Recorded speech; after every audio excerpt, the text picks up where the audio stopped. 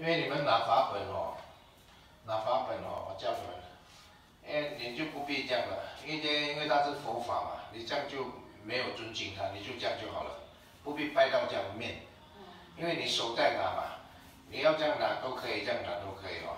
你拿法本的时候啊，你就这样，眉间这样在心，眉间在心，哦，这样，就是不没拿一块没。